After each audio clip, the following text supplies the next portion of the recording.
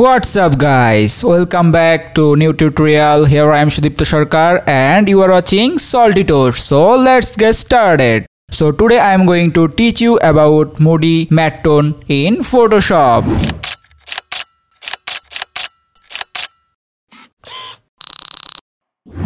Unlock the background and go to the hue and saturation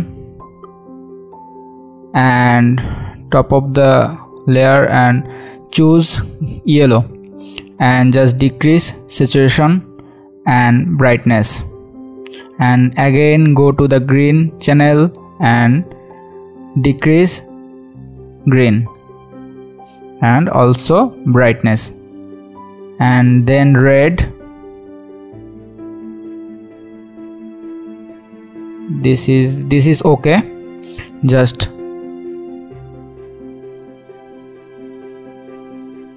see the before and after.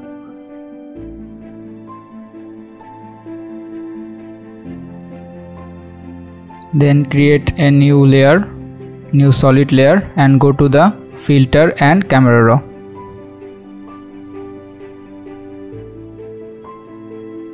and now I will just match up my lights.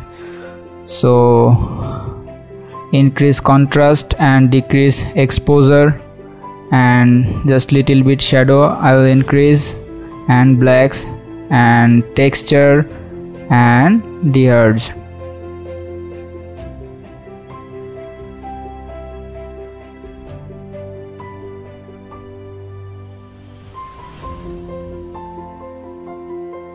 now just increase details and go to the saturation and increase reds and luminance just decrease and just change the from the situation uh, just increase the face tone. So I will increase orange and after that split toning just increase highlights. From the highlights saturation and the hue will be just 150 and saturation 11 then the shadow. Yes. It's okay. Now fx from the fx i just increase grain. And i will use this round vignetting tool for the dark in the side. So just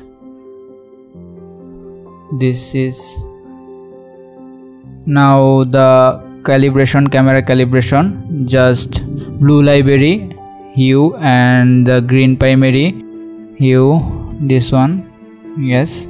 See the tone of the image. See it's before and after. It's already done. See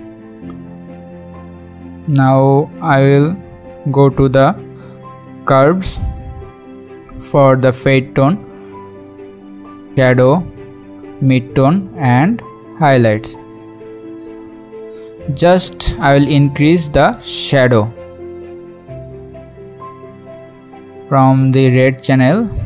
Just I will decrease the shadow. It's okay and just little bit midtones see the after and before